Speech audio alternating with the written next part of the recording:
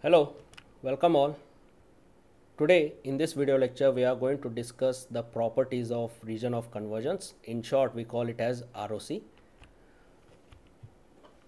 At the end of this session students will be able to explain properties of region of convergence. Property 6 states that if x of n is two-sided sequence and if the circle mod z is equal to r0 is in the ROC, then ROC will consist of a ring in the z plane that includes the circle mod z is equal to r naught. x of z is equal to summation n equal to minus infinity to infinity x of n z to the power minus n. And the region of convergence appears as a ring-like structure in the z plane as shown in this figure here. In this lecture, we are going to consider two-sided infinite discrete time sequence. So let us consider an example here. So x of n is equal to 2 to the power n u of n minus 3 to the power n u of minus n minus 1. Now find find Z transform and ROC of the given signal. So let us solve this one. We know that x of z is equal to summation n equal to minus infinity to plus infinity x of n into z to the power minus n where x of n is equal to 2 to the power n u of n minus 3 to the power n u of minus n minus 1.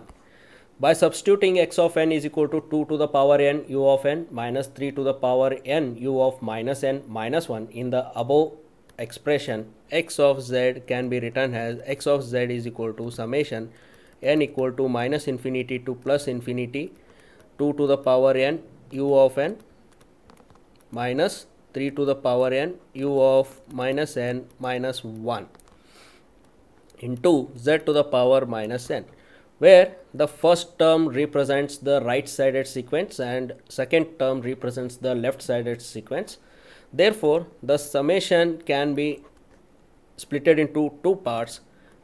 Hence, x of z is equal to summation n equal to minus infinity to plus infinity 2 to the power n u of n into z to the power minus n minus summation n equal to minus infinity to plus infinity 3 to the power n u of minus n minus 1 into z to the power minus n here.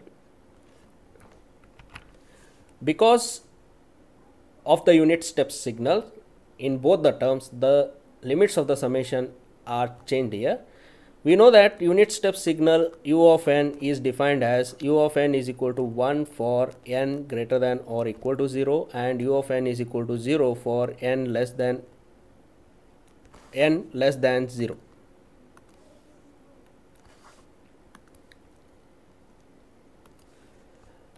n less than 0. Similarly, u of minus n minus 1 is a modified version of unit step signal u of n and this one is defined as u of minus n minus 1 is equal to 0 for n greater than or equal to 0 and it is equal to 1 for n less than 0.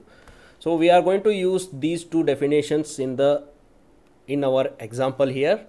Therefore, the x of z because of these two unit step signals x of z will be written as n equal to 0 to infinity 2 to the power n z to the power minus n minus summation n equal to minus infinity to minus 1 3 to the power n z to the power minus n here. Because of these two unit step signals the limits have been changed in both the terms here. In the first term it is changed into n equal to 0 to infinity whereas in the second term it is changed into n equal to minus infinity to minus 1 here. Now to understand how the limits have been affected because of the unit step signals. Let us consider the graphical representation of the signal here. So here summation are written as n equal to 0 to infinity 2 to the power n z inverse minus summation n equal to minus infinity to minus 1 3 to the power n z to the power minus 1. Now to understand how the limits of these two summations have changed because of the unit step signals defined above here. Here you can see that u of n is equal to 1 for n greater than or equal to 0 and it is equal to 0 for n less than 0 and u of minus n minus 1 is defined as it is equal to 0 for n greater than or equal to 0 and it is equal to 1 for n less than 0. So in the graphical representation you can see that the first graph represents the 2 to the power n which is a growing exponential signal. And in the second graph it represents the unit step signal as per the definition on the left side. The values of u of n is equal to 0 whereas for n equal to 0 to plus infinity the values are equal to 1 here okay. So when we perform the multiplication between these two signals we get the resulting signal that is which is equal to 2 to the power n u of n. So on the left side 2 to the power n is multiplied with the 0 therefore the resulting signal will be equal to 0 whereas for n equal to 0 to plus infinity that is on the right side we can see that 2 to the power n is multiplied with the 1 therefore you will get 2 to the power n here. Therefore in this representation you can see that the signal exists from n equal to 0 to plus infinity. Hence the limits of the summation are written as n equal to 0 to infinity. Similarly on the second uh, on the right side you can see that another set of graphical representations are given here. The first graph represents 3 to the power n which is again a growing exponential signal and the second graph represents the modified version of unit step signal u of n which is defined as u of minus n minus 1 is equal to 0 for n greater than or equal to 0 and it is equal to 1 for n less than 0. According to that in the graph you can see that on the left side from n equal to minus infinity to minus 1 the values of u of minus n minus 1 is equal to 1 whereas for n equal to 0 to plus infinity the values of u of minus n minus 1 is equal to 0. So when we perform the multiplication between 3 to the power n u of minus n minus 1 we get the resulting signal as shown in this graph here. So here you can see that for n equal to 0 to plus infinity the signal 3 to the power n u of minus n minus 1 is equal to 0 whereas on the left side from n equal to minus infinity to minus 1 you can see that the 3 to the power n u of minus n minus 1 is equal to 3 to the power n. Because 3 to the power n is being multiplied with u of minus n minus 1 that is 1 3 to the power n is multiplied with 1 therefore you will get the resulting signal 3 to the power n here.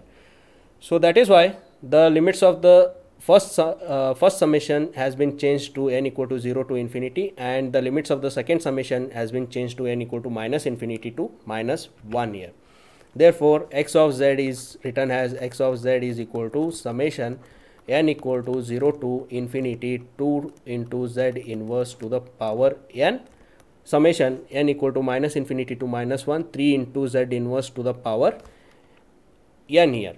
Now in earlier two example, we have used the infinite summation identity that is summation n equal to 0 to infinity alpha to the power n. The infinite summation identity that is summation n equal to 0 to infinity alpha to the power n is equal to 1 divided by 1 minus alpha. This infinite summation identity is valid for mod alpha less than 1 here. So, uh, by comparing x of z with the infinite summation identity we can see that the first summation is identical with this infinite summation identity whereas the second summation is not identical with the infinite summation identity. So therefore we need to first convert this second summation uh, the limits of the summation identical to this infinite summation identity so that we can use this infinite summation identity to simplify the x of z further here. So first we will change that limits of that summation here. So to change that one so we are going to put k is equal to minus n in second summation here. So k equal to minus n means minus plus n will be equal to minus k and similarly n equal to minus infinity minus n will be equal to plus infinity and minus n will be replaced by k. So k is equal to plus infinity Similarly, n equal to minus 1. so minus n is equal to 1 here. So minus n is replaced by k. So k is equal to plus 1 so these are the k values which we are going to use in the second summation here not in the first summation. Therefore x of z can be written as summation n equal to 0 to infinity 2z inverse to the power n minus summation k equal to infinity to 1 3z inverse to the power minus k here. Okay. So further this one written as n equal to 0 to infinity 2 z inverse to the power n minus summation. The lower limits are written below the summation and upper limits are written above the summation. Therefore k is equal to 1 to infinity. And this is written as 3 inverse z to the power k here. But still the limits of the second summation are not identical with the infinite summation identity here. Therefore we are going to use the concept that is a to the power 0 equal to 1 in this example here. Therefore x of z is equal to summation n equal to 0 to infinity 2 z inverse to the power n plus 3 inverse z to the power 0 minus 3 inverse z to the power 0 minus summation k equal to 1 to infinity 3 inverse z to the power k here. Now we are going to merge these two terms here and this will be further written as x of z is equal to summation n equal to 0 to infinity 2 z inverse to the power n plus 3 inverse z to the power 0 is nothing but 1 minus summation. We are going to merge these two terms therefore k is equal to 0 to infinity 3 inverse z to the power k. Now we can use this infinite summation identity in both the summations here to simplify x of z.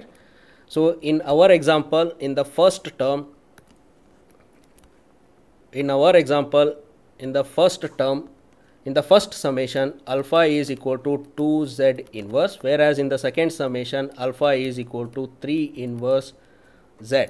So therefore x of z can be written as x of z is equal to 1 divided by 1 minus 2z inverse. So x of z is equal to 1 divided by 1 minus 2z inverse plus 1 minus 1 divided by 1 minus 3 inverse z here.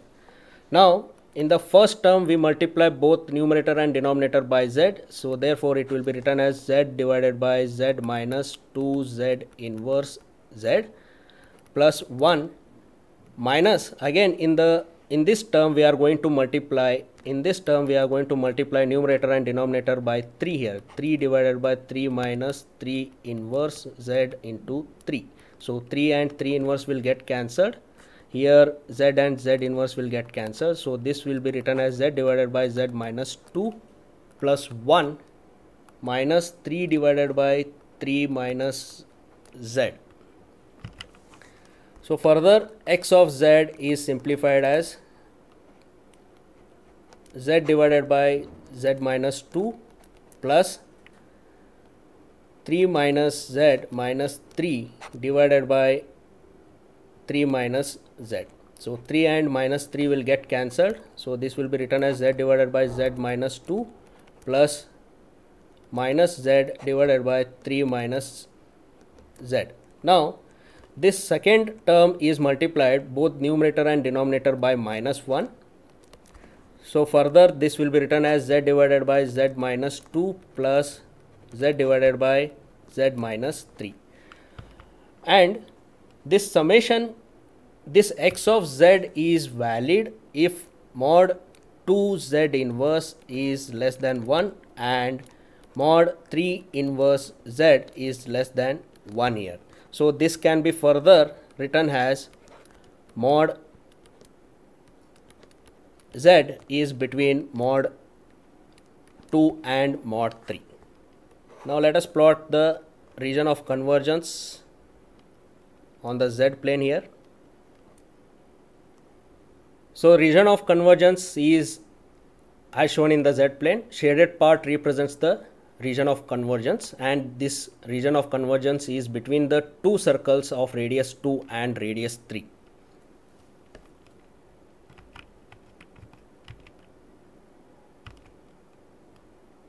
thank you